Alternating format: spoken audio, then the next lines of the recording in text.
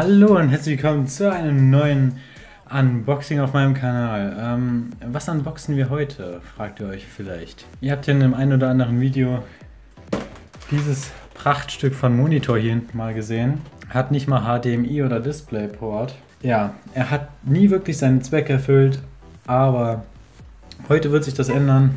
Naja, er wird auch morgen nicht diesen Zweck erfüllen. Aber etwas anderes wird diesen Zweck erfüllen, nämlich das hier. Wozu brauchen wir eigentlich Messer? Das ist er. Also kurz gesagt, wir unboxen heute einen Monitor und zwar nicht irgendeinen, sondern den HP 24 ES. So, jetzt gucken wir erstmal, was hier alles drin ist. Eine Software-CD und ich glaube Bedienungsanleitung. Das scheint die Halterung zu sein, an der das Ganze später steht. Stromkabel. Überraschenderweise ist ein HDMI-Kabel dabei. Normalerweise ist sowas nicht dabei, also finde ich cool. Standfuß.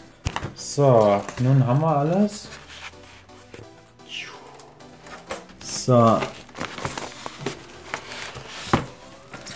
Er ist groß. Guckt euch an, wie dünn der ist. Bevor wir den aber anschalten, müssen wir erstmal gucken, dass wir den aufgebaut bekommen. Und dazu muss der alte vermutlich erstmal weg. So, jetzt den Monitor entfernen. So, der alte Monitor ist jetzt weg. Ja, jetzt bauen wir irgendwie den neuen auf. Also, so, wie rum? Ich würde sagen so. Okay, das war einfach. Einfacher als gedacht zumindest. Da rein sliden. Und einfach festdrehen oder wie? Äh, looks safe to me. Alles andere sollte funktionieren.